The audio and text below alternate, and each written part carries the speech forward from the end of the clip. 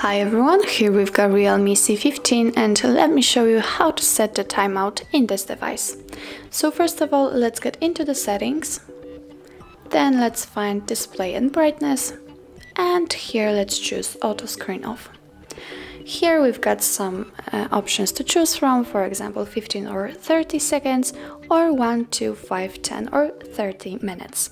So now it is, it is set for 2 minutes, but let me pick for example 15 seconds and from now on after 15 seconds of inactivity our Realme C15 will black out.